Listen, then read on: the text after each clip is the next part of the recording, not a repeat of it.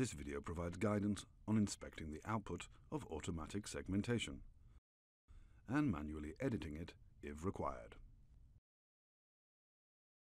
The segmentation service used within Trios patient monitoring separates teeth from gingiva and identifies each tooth based on the selected tooth numbering system. This is the basis of how Trios patient monitoring aligns and compares scans. Therefore, it is very important that you carefully inspect the output of segmentation and make corrections if necessary. Automatic segmentation is currently optimized for scans with unaltered adult teeth. Scans containing primary teeth, brackets, or similar may not segment correctly.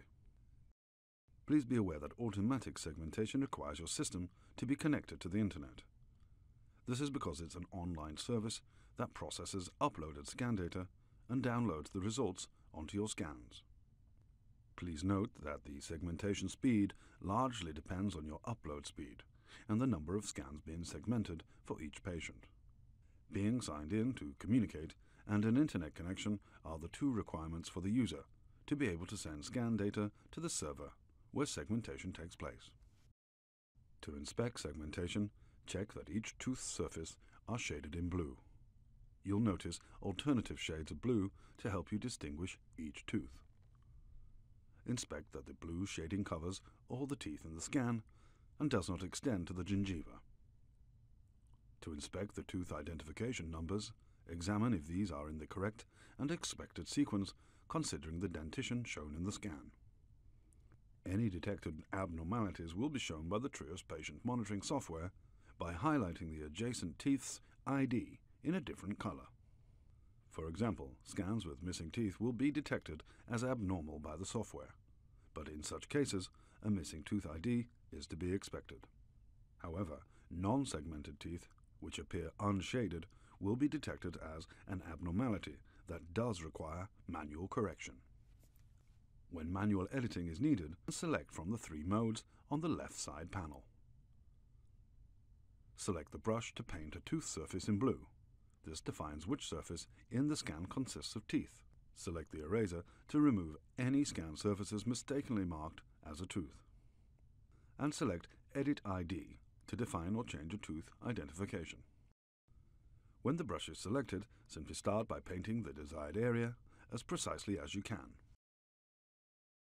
As soon as a continuous brushing stroke is stopped, a radial menu with tooth IDs corresponding to the jaw and specified tooth numbering system appears.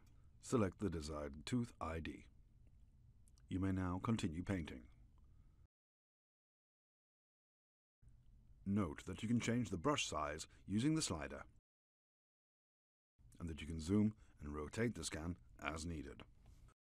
If automatic segmentation marks some gingiva as a tooth, or you accidentally paint it onto the gingiva, you can easily correct this by selecting the eraser.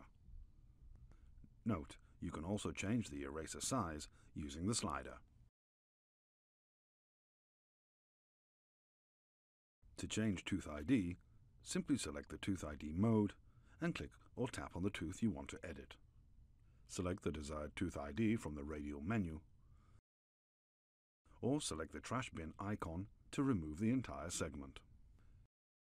Now that segmentation has been inspected and edited, we can go ahead and accept the segmentation for each scan.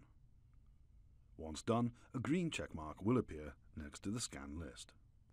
Scans with an accepted segmentation will be saved for the next time you enter patient monitoring with a new scan. However, you can always go back and edit the segmentation of any scan. Now you know how to inspect and edit segmentation in Trios patient monitoring. Thank you for watching.